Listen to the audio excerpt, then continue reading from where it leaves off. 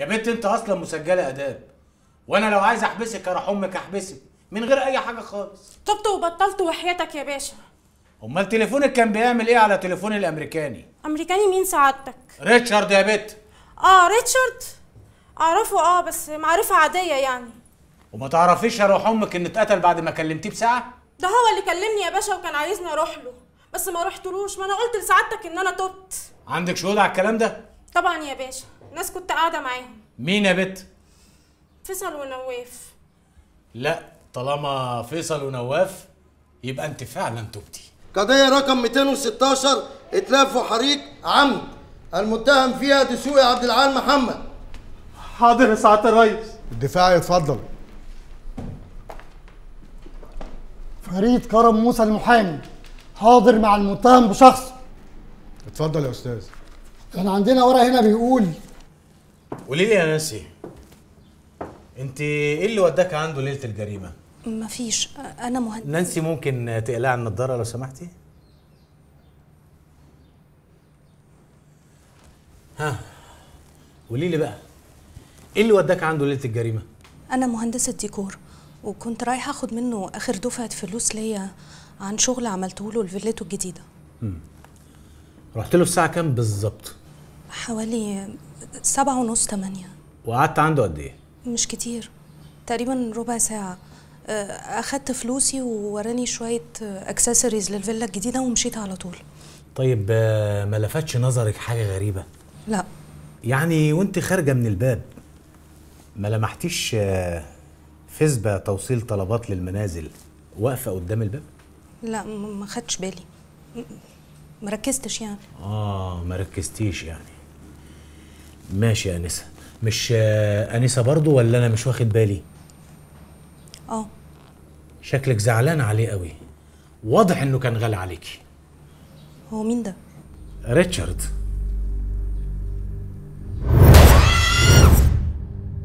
طبيعي أنت لو تعرف إنسان حتى لو لفترة قصيرة ومات هتزعل عليه خصوصا لو كان اتقتل. ماشي. ماشي يا نانسي. الفقر. الفقر والغلب وقلة الحيلة. هما اللي جابوني النهاردة هنا. جابوني علشان أشهد زور على واحد مظلوم. ويخش السجن ويبقى ذنبه في رقبتي. سامحني يا رب. سامحني. سامحني. أنا عارف إن أنا مقصر في حقك يا رب. لا بصلي ولا بركع. بتفرج على أفلام مش كويسة وبتعرف على بنات على النت.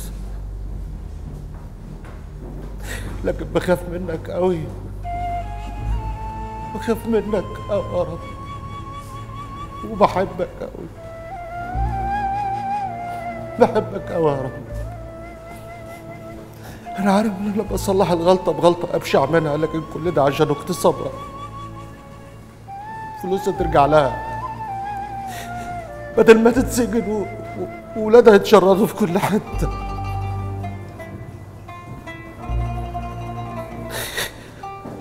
رب. سامحني وعافيني. واغنيني. واعمي عيني على الحرام. سامحني وهتبقى آخر مرة. آخر مرة يا رب. معلش إحنا بقينا في زمن الواحد بيسرق فيه علشان يد... يدوب يقدر يعيش. ارحمني. ارحمني من العذاب اللي أنا فيه يا رب. ارحمني يا رحمن يا رحيم. يا رحيم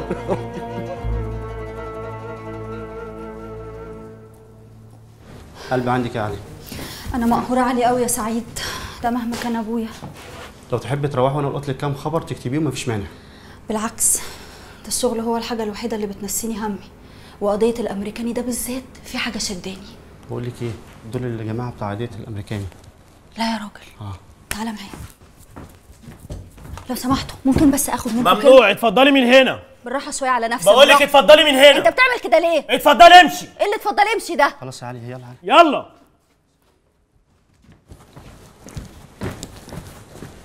بقول لك إيه؟ في عسكري حبيبي هنا ظبطته وقال لي هنعرف نتكلم معاهم. نادي على الشهود الشاهد الأول عامر إبراهيم عفيفي. الشاهد الأول عامر إبراهيم عفيفي.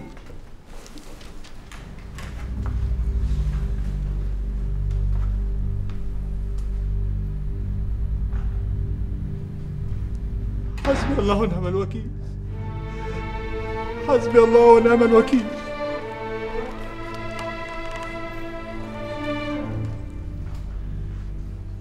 أفندم.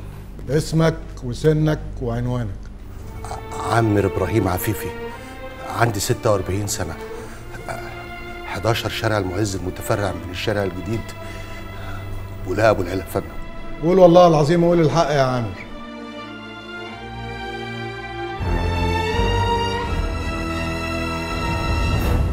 والله العظيم أقول الحق حق. الله يا باشا.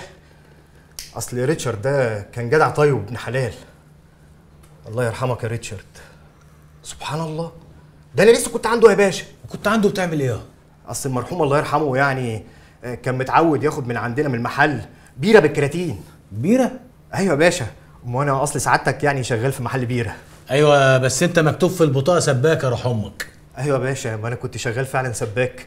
بس أكل العيش بقى يا باشا يعني وكنت عايز انطق من نفسي بقى. آه. رحت له الساعة كام بالظبط؟ آه، تقريبا 8 ونص يا باشا. أصله سعادتك كان طالب مني طلب مخصوص وأنا جبته له. أصل ده زبوني. آه. زبونك. كان آه، كان طالب منك إيه يا أبو الشوق؟ إزازة تكيله يا باشا. وأنا جبتها له مخصوص من السوق الحرة. بس الله يرحمه بقى كان مزاجه عالي قوي. كان غاوي تكيله وليمون.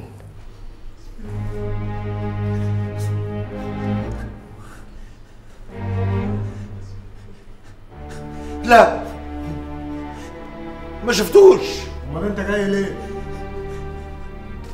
أنا جاي اشهد شهادة زور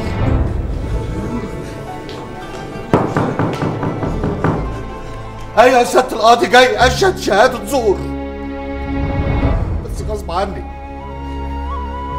مضغوط عليا. الأستاذ منير اللي هو سكرتير المدير. اتفق معايا إنه يديني رشوة 10000 جنيه. علشان أشهد شهادة زور على الراجل ده. باشا أنا ما نمتش طول الليل ضميري كان بيأنبني. ثلاثة بالله العظيم ثلاثة باشا. أنا كنت قاعد بره القاعة بادئ على نفسي بالشلل. عشان ما أخشش القاعة دي وأشهد على الراجل ده ويبقى ذنبه في رقبتي الراجل ده ما ولعش المخزن يا باشا. ما ولعش المخزن يا باشا. ثلاثة بالله العظيم ما ولع المخزن يا باشا. ينصر دينك ينصر دينك يا عم. والله العظيم انت ابن حلال. والله العظيم انت ابن حلال. لو بتكذب هحبسك يا عامر. أنا قلت الحقيقة يا باشا. واللي انت شايفه يا سياده القاضي احكم بيه بس أنا قلت الحقيقة وريحت ضميري.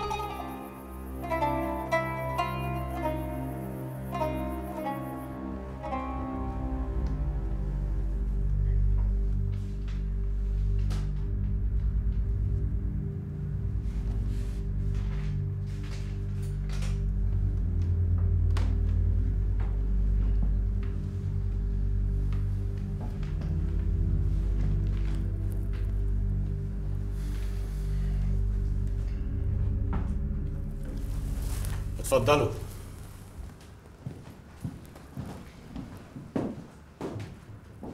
الشهود دول كلهم بقى كده بربطة المعلم ما لهمش أي لازمة. إحنا قدام لغز كبير وحل اللغز ده في إيد اتنين ما لهمش تالت. آدم عبد الحي وشريكه صاحب البصمة المجهولة. آدم عبد الحي كده كده معانا وخصوصا لما اترفعت البصمات من مسرح الجريمة طلعت مطابقة تماما لبصمات آدم عبد الحي. يعني كان موجود ساعتها وده أكبر دليل. تمام يا باشا. أنا حاسس إن إحنا وصلنا لمعلومات مهمة جدا. أيوه بس آه، في تقرير هنا بيقول إنهم لقوا طلقة مدممة مستقرة في الباب من فصيلة غير فصيلة المجني عليه. وده معناه إن الجاني أو حد من اللي كانوا معاه اخد طلقة وتعور. هشام بيه شيء طبيعي إن الراجل الأمريكاني لما حاولوا يقتلوه كان بيدافع عن نفسه. أيوه يا باشا بس في تقرير هنا تاني بيقول إن كل الأسلحة المستعملة في الجريمة ملك للمجني عليه بدليل إنهم لقوا رخصهم والذخيرة بتاعتهم في الدولاب عنده. عايز توصل ليه؟ عايز أقول يا باشا إن مفيش حد هيدخل بغرض السرقة وما معهوش حتة سلاح صغير يدافع بيه عن نفسه ولا يهدد بيه لما يتمسك أو أي حاجة. تمام يا سيف بيه ده حتى من باب التأمين. أهو. هو آدم عبد الحي. واضح إن الواد ده محترف. آه هتلاقي الواد ده هشام بيه راقب الراجل الأمريكاني بين أسبوع أو 10 أيام. وبعدين الواد مش لوحده. أكيد معاه عصابة طبعا. عرفوا تفاصيل الراجل الأمريكاني وعرفوا إنه غاوي مقتنيات وعنده أسلحة في بيته. واستولوا على الأسلحة وقتلوه بيها عشان يسرقوا على رواقة. ويقطعوا علينا فكرة إيه؟ سبق الإصرار والترصد. آه ده كان في كمان hard disk مع المسروقات متوصل بكاميرات المراقبة علشان يسجل كل حاجة. اهي دي بقى معلومة مهمة جدا. تفتكر يا هشام بيه سرقوا ال hard disk ليه؟ أكيد عشان الكاميرات صورت الجريمة بتاعته فسرق ال hard عشان يمسح كل اللي عليه ويلغي دليل الإدانة. مش قلت لكم مفيش غيره. هو آدم عبد الحي صاحب الجريمة اللي إحنا فيها دي. مش شرط يا باشا بعد إذنك يعني. مش شرط عشان بصماته موجودة في البيت يبقى هو. الله. طب ما نانسي ليها بصمة على أكرة الباب؟ والسواق والبواب كل دول ليهم بصمات في كل حتة في البيت. ده غير طبعا صاحب البصمة المجهولة اللي إحنا مش عارفين نلاقيه لغاية دلوقتي. ده واضح إن أنتوا تعرفوا آدم ده كويس جدا. لا يا باشا أصل آدم ده حبيب هشام بيه. وارد إن نانسي أو البواب أو السواق يكون لهم بصمات جوه الشقة لأنهم يوميا بيتعاملوا مع المجني عليه. لكن آدم عبد الحي وشريكه يكون لهم بصمات جوه الشقة ليه؟ طب إزاي؟ إيه؟ بيدخلوا الأوردر بالفيسبا لغايه أوضة النوم؟ جايز. جايز يا سيف بيه بس على فكرة لو كان هو اللي عملها أنا مش هرحم. محسن بيه كل الشهود دول يتحطوا تحت المراقبة. يمكن نوصل من خلالهم لأي خيط يوصلنا لأدم عبد الحي. الواد ده لازم يظهر وبمنتهى السرعة. هات لي أهله وحقق لي معاهم. إن شاء الله تجيب لي الجيران. تحت أمرك يا باشا. ماشي يا ابن صبرا. أنا جبت لك شوية هدوم يا رب يطلعوا قدك وجبت لك هنا بقى شوية بقاله ومعلبات عشان لو حسيت بجوع ولا حاجة. أسيبك بقى عشان أطمن على نانسي. جميلك ده دين في رقبتي. جميل إيه يا ابني؟ ده أنت اللي جميلك مكلبش في رقبتي. حضرتك بتفكرني بأبويا قوي وأنت الصورة اللي تمنيتها لابن اللي اتحرمت منه. صعبان عليا شاب ابن بلد زيك كده يتبهدل. ربنا يخليك يا حاج. مقدس من قلت لك مقدس سيدي الاتنين أحباب الله. طبعا طبعا. آه، على فكرة أنا سبت لك فوق على الكومودينو مبلغ كده بسيط يمكن تحتاج لحاجة. وجبت لك المصحف اللي طلبته. يلا سلام.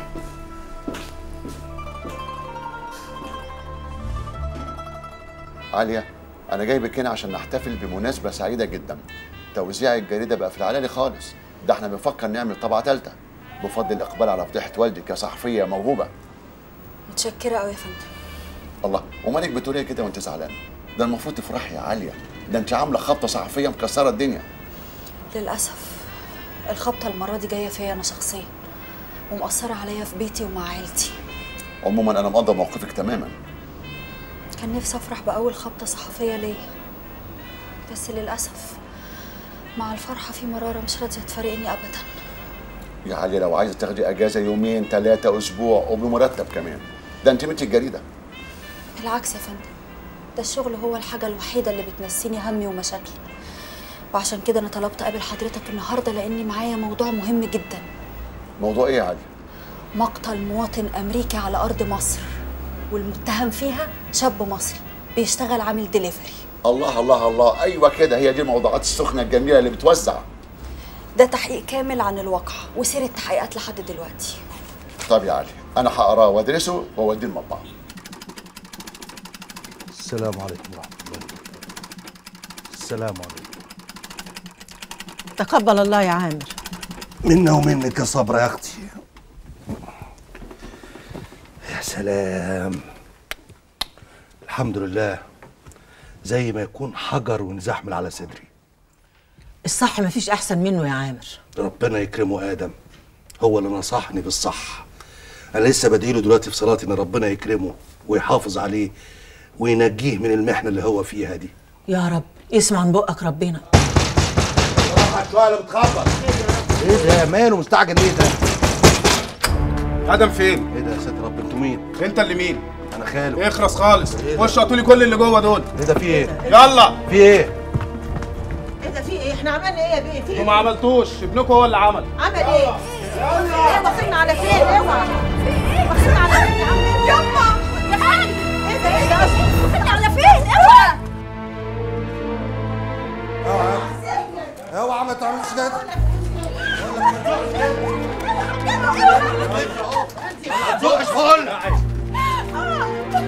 طب راح عليك خد طب طب تضرب إيه؟ بتضرب ليه؟ بقول لك بتضرب ليه؟ إيه يا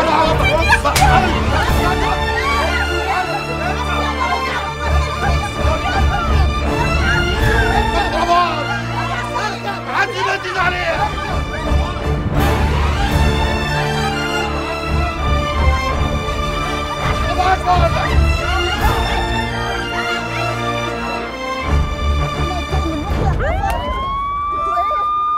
لا حول ولا قوة إلا بالله العلي العظيم. ربنا يكون في عونهم الناس دي. أنا مش عارف حظهم وحش كده ليه. أنا ما أعرفش الحكومة ليه مستقصدة العيلة دي على طول. حكومة الحكومة مش مستقصداهم دول عيله شمال ماشيين غلط. طب والصحة هيجيبوه منين؟ الله إذا كان أبوهم ذات نفسه طلع شيخ بنصر يا توم نيلة جيرة تار هل أنا كنت عايزة أخش معاهم الجمعية ساعتهم جمعيه الجمعية؟ دي لازم تخرجي منها. دي عيلة. تاكل مال النبي. لا يا حبيبي أنا خرجت والحمد لله خلاص.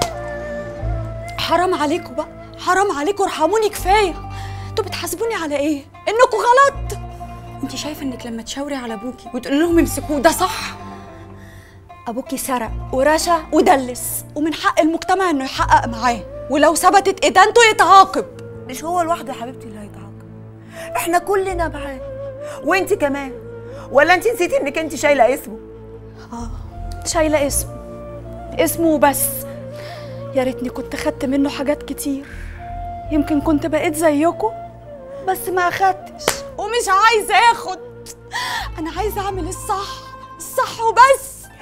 وسمعتنا اللي باظت صح. والفضيحة اللي حصلت. والجوع والخراب اللي هنتعرض له. برضه صح. يا بنتي انت علشان تعملي الصح. غلطتي في حقنا كلنا وفي حق نفسك. طمني يا ستي.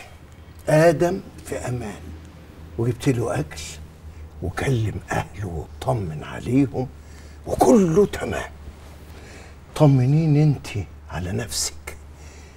عملت إيه لما استدعوك في الاسم؟ ده كان موقف صعب قوي يا بابا. حصل إيه؟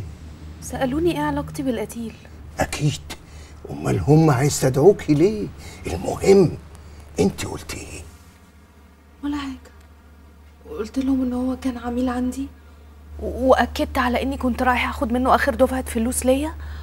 آه بس قلت إن أنا رحت قبل الميعاد اللي أنا رحت فيه بساعة علشان يبقى منطقي إني ما شفتش الحادثة.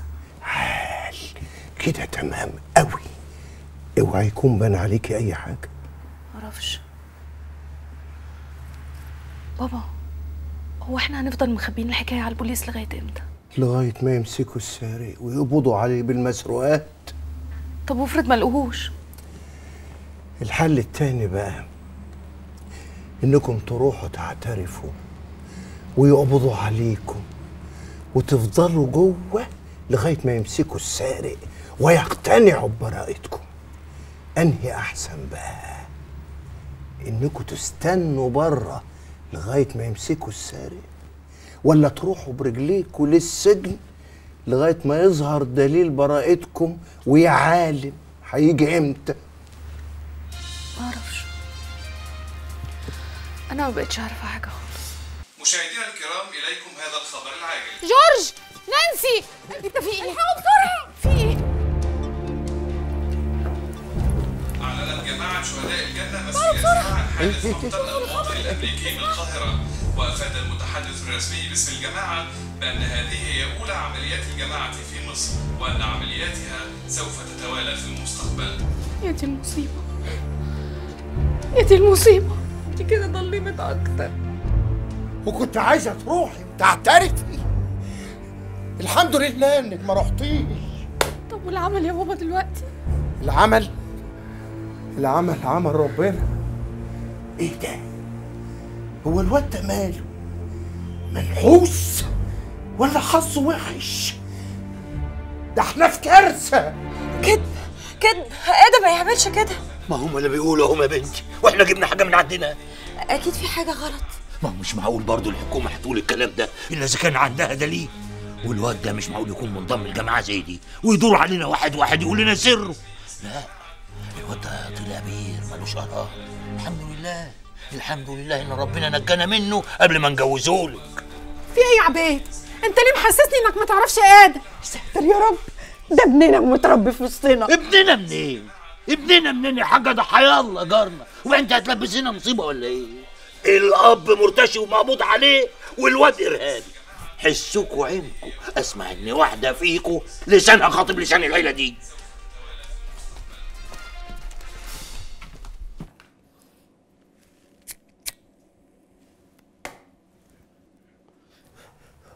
صدقني يا باشا أنا ما أعرفوش. انت هتستعبط يا روح أمك. مش آدم ده ابن أختك. أيوه أيوه يا باشا. ابن أختي. أنا خاله فعلا. خاله باشا بس من بعيد قوي إحنا بصراحة عيلة مفككة ووسخة. آخر 36 حاجة. إحنا عايشين مع بعض في البيت زي ما يكون عايشين في بنسيون معفن قذر. مفيش أي حد له علاقة بالتاني. ولا نعرف مشاكل بعض ولا بنصبح على بعض. وادم ده بالذات أنا ما اعرفوش يا باشا. أنا ما اعرفوش بس لدرجة أن أنا كنت مقاطع أختي بسبب الجواز. انها جوزت أبوه. بس النصيب الوسخ بقى. عكتنا في الجوازة السودة دي. بس أنا عايز أقول لسيادتك بالله عليك يا باشا صدقني. آدم ده طيب وابن حلال ولا أنت شكلك كده غاوي الصعوبات وأنا هظبط أمك.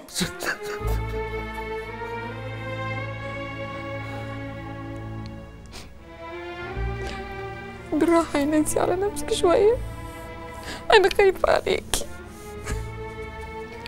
بالراحة بالراحة إيه بس أنا ضيعت مستقبل الولد ربنا هينجيه ان شاء الله إزاي؟ ده ما بقاش قاتل وسارق بس دول خلوه إرهابي كمان للأسف كل الظروف ماشية ضده أنا هروح أعترف بكل حاجة وأشهد إنه كان بيدافع عني. بتفتكري إنك هتنقذيه بالطريقة دي؟ هي دي الحقيقة يا بابا ما هي لازم كل الناس تعرفها. الحقيقة ما حدش يعرفها غيرنا إحنا. أيوة يا حبيبتي لازم نفكر بالعقل. أي تهور دلوقتي ضد مصلحتنا كلنا وهيخسرنا كل حاجة. بوظ الدنيا يا حبيبتي. طب أعمل إيه طيب؟ تعيشي حياتك عادي جدا. وما تنسيش انهم ممكن يكونوا بيراقبوكي بيراقبوني؟ طبعا أنت مش طرف في جريمة قتل ومين؟ أمريكاني طب وآدم هنعمل فيه إيه؟ هخبيه في مزرعة الفيوم وجوده في القاهرة بقى خطر عليه لغاية إمتى يا حبيبي هنغطيه كده؟ لغاية ما ما نشوف الأمور هتوصل لفين؟ اقفي معانا يا عذرا يا أبو النور اقفي معانا.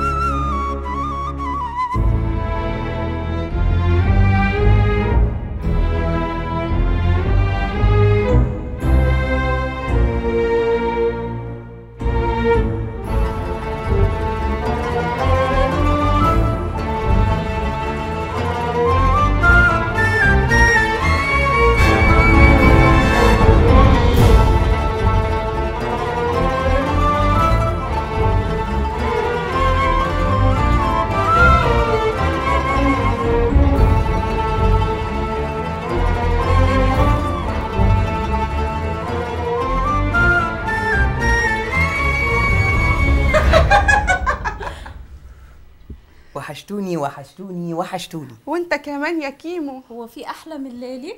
بس مش غريبة يا جماعة إن إحنا الاتنين مع بعض في ليلة واحدة. وإيه المشكلة إن إحنا نهيص؟ ما أنتوا عارفيني بحب اللم وإنتي بيضة وهي سمرة وكل بستان زهر أنا بقى بصراحة عايز أنبسط قوي النهارده. عايزكم بقى تدلكوني وتدلعوني وتنيموني. بس كده. وأنا اللي فاكرك مؤدبة. لا وترقصوني كمان. أنا شارب ثلاثة ستيلا ويجي تمانية كمان ايدي أنا راجل أو مش إلا ولا يهمني من ده ولا دي. أنا شارب ثلاثة ستيلا أنا راجل أو مش إلا. أنا شارب ثلاثة ستيلا أنا راجل أو مش إلا. أنا عامل دماغ عرايش حكومة يا بنت بس يا روح أمك إيه اللي أنت عامله في نفسك ده يا بيه؟ يا باشا هو مفيش غيري في البلد دي يعني يا باشا. وبعدين أنا ماليش دعوة بالسياسة يا فندم يعني وحضرتك عارف أنا راجل بتاع سيجارة وكاس يعني ما بعملش حاجة غلط. ما بعملش حاجة غلط؟ هدوم على فين يا فندم بس؟ يلا يا ماما. يلا. يا فندم. يلا. طب غير هدومي. يلا. هدومي. والله يا فندم أنا ما أعرفش اسم ريتشارد ده غير في فيلم الناظر صلاح الدين. أنت بتهزر يالا لا. والله يا فندم أنا بقول الحقيقة. وآدم أمين عبد الحي. تعرفه هو كمان؟ آه يا فندم أعرفه. علاقتك بيه إيه؟ هو صاحبي وزميلي في الكلية و... والواد ده رجوله يا فندم. صاحبك بس وزميلك في الكلية؟ ولا كان في وقفات احتجاجية بترتبوها مع بعض؟ يا فندم لا أنا ولا آدم لينا في السياسة. والوقفات الاحتجاجية دي هي اللي عرفتكم بيا. وبعدين يا فندم والله كانت وزة شيطان وراحت لحالها. أنت تعرف مكان آدم؟ آه يا فندم هو ساكن في حارة في بولاق أبو العلا. يا سلام. آه بس الحقيقة مش عارف رقم البيت يعني. جبت التايه يا واد. ما إحنا عارفين العنوان. على فكرة أنت شكلك ظريف كده ودمك خفيف. يا فندم والله خالص أنا بس عايز أخدم يعني. هو آدم عمل إيه؟ يعني انت مش عارف آدم عمل إيه؟ لا يا فندم والله ما كنت سألت حضرتك. مش شغلك. ومروح يا كريم وأول ما أكلمك ألاقيك. ربنا يخليك يا فندم. شكرا يا فندم. اتفضل. أنتوا هنا بتشهدوا في جريمة القتل؟ جريمة القتل أمال انت كنت بتهبب إيه جوه؟ كانوا بيسألوني على آدم. ما هو آدم هو المتهم في جريمة القتل اللي بيحققوا فيها يا زكي. إيه؟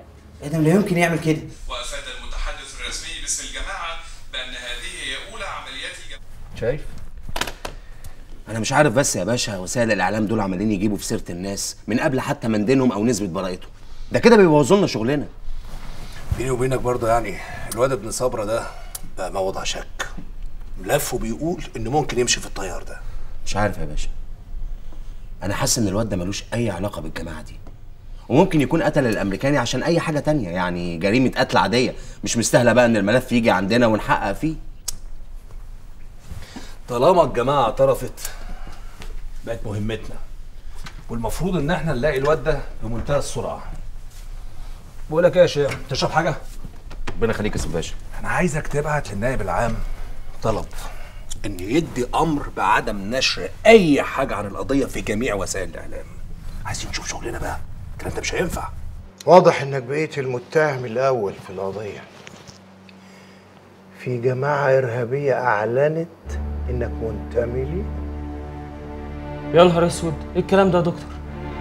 يعني أنا كده بقيت قاتل وسارق وإرهابي؟ إيه الافتراء والظلم ده؟ ده كده أنا عارف إنهم كدابين بس كل اللي بيدور في الإعلام بيأكد كل كلامهم. عشان كده وجودك في القاهرة خطر عليك. أمال أروح فين يا دكتور؟ هاخدك عندي تستخبى في مزرعة صغيرة في الفيوم. شكل كده استخبى بقيت عمري. ما تقلقش. خلي أملك في ربنا كبير. ونعم بالله. أنا إيه بس اللي بيحصل لي ده؟ حوادث ومفاجآت ما كانتش تخطر على بالي. يا ترى اللي جاي خير ولا شر؟ يا ترى صدقوا اللي قلته في التحقيق ولا شاكين فيا وبيراقبوني ولا إيه؟ ربنا يستر بقى. نانسي. آه، هاي ازيك يا أمير؟ هاي إيه؟ انت كويسة؟ آه أنا كويسة الحمد لله. أنا قلت أعدي وأطمن عليكي آه، لا أنا كويسة. عملت إيه في المشوار اللي رحتيه مع بابا امبارح؟ مشوار إيه؟ المشوار اللي كنتوا هتروحوه سوا ساعة لما جيت لكم. بس أنا لمحته نازل ومعاه شاب كده وما شفتكيش. بالمناسبة مين الشاب ده؟ ده واحد قريبنا. واحد قريبنا وبابا كان رايح يوصله محطة القطر و... وبعدين أنا كنت نازلة معاهم فعلا بس تعبت ومبقتش قادرة أنزل فسبتهم. ألف سلامه عليك. هو أنت بتتجسس علينا أو حاجة؟ هتجسس عليكم ليه؟ دي كانت صدفة. بس أنا لما جيت لكم ما شفتش الشاب ده ما كانش موجود. كان في الحمام يا سيدي. وبعدين أنت ما دخلتش البيت أصلا عشان تبقى شفته كله يعني في الدقيقتين دول. أنا آسف معلش إن أنا بتدخل في اللي ماليش فيه. لا it's okay أنا بس اللي تعبانة شوية. ومش عايزة أتكلم دلوقتي معلش.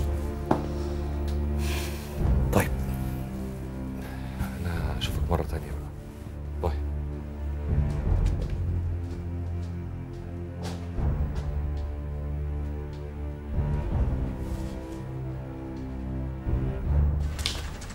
لو سمحت.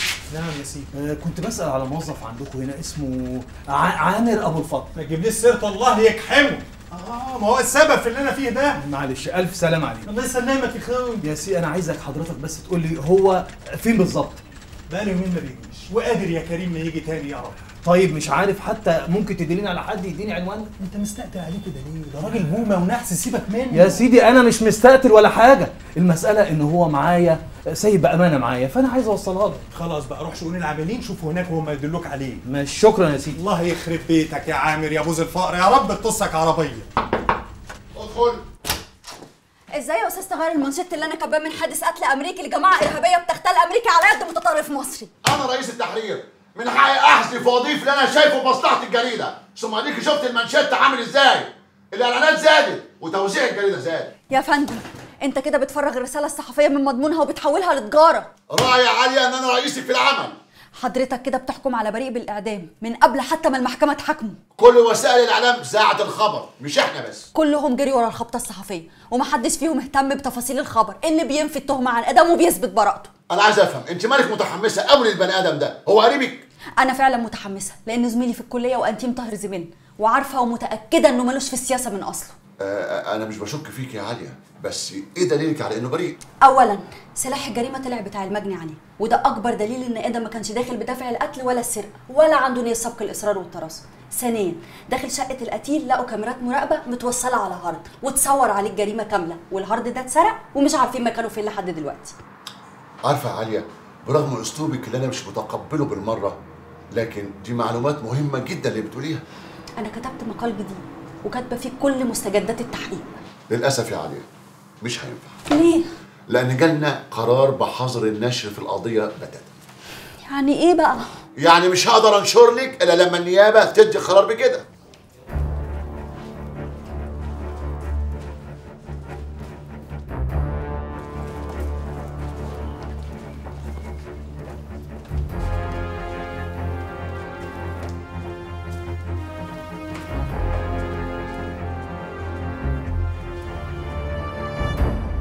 أمين مرزوق عبد الله يا فندم.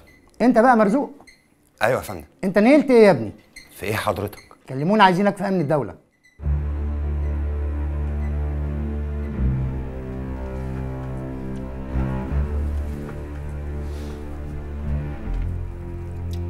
ده يا مرزوق؟ الحمد لله يا فندم. تاكل حمام؟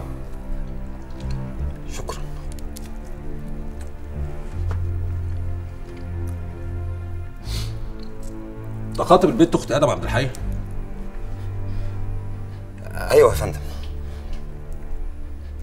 حلوة؟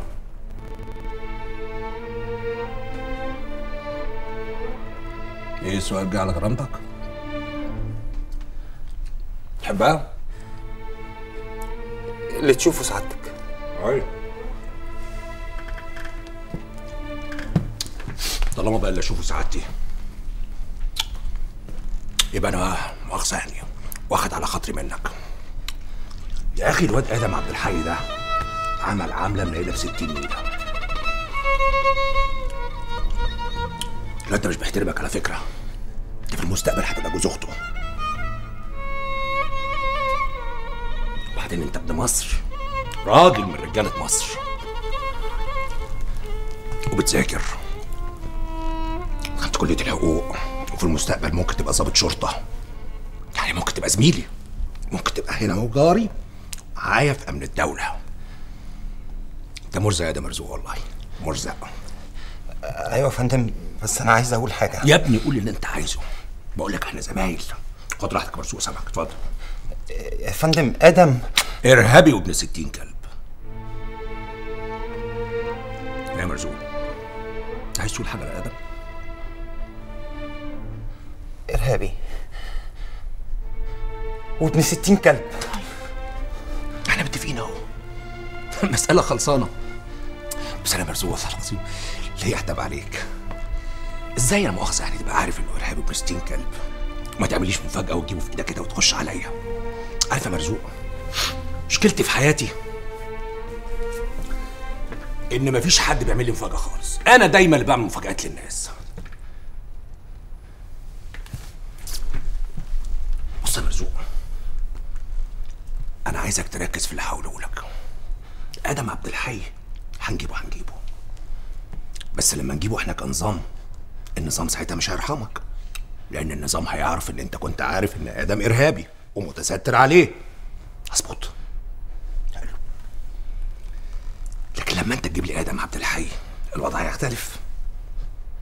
بص يا مرزوق جبت لي آدم ما جبتليش آدم في الحالتين أنت معايا. جبت لي آدم هتبقى راجل من رجالتي معايا هنا في مكتبي. ما جبتليش آدم عبد الحي برضه هتبقى معايا بس مش في مكتبي. هتبقى في الأوضة اللي جوه. وربنا يكفينا ويكفيك بقى شر الأوضة اللي جوه. أنا ما بحبش أحرق المفاجآت. هسيبك كده تعرفها واحدة واحدة.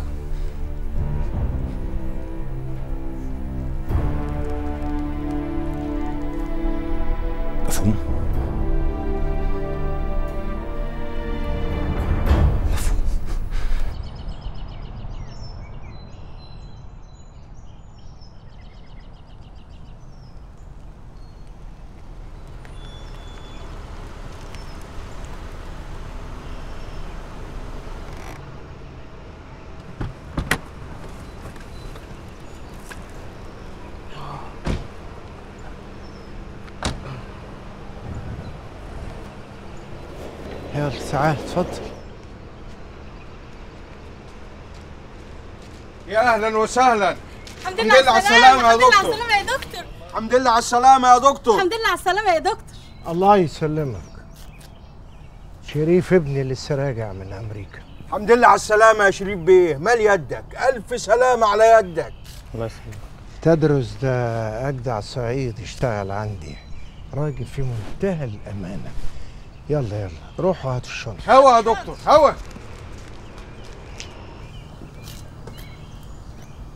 اوعى تغلط قدامهم. انت من هنا ورايح ابن شريف. هو ابن حضرتك فين؟ هاجر. هاجر من سنين. والأرض دي أنا اشتريتها على أمل إنه يعيش فيها. ويبقى وسطينا يعني ربنا يرجعه لك بسلامة أربي فيه. ولما كبر هاجر وما فكرش فيا. يلا طيب الشباب ربنا يهديه. على فكرة أنا جبت لك لابتوب وفلاشة النت عشان نبقى نتكلم من خلالها. دي أأمن طريقة. اتفضل اتفضل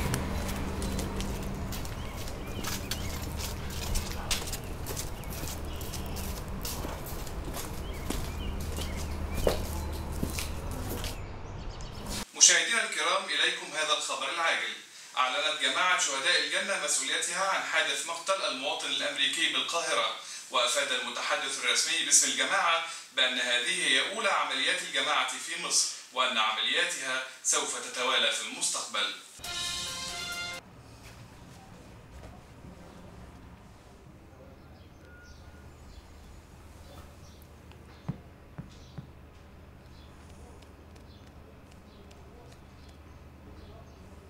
ألو مصطفى ازيك يا درش؟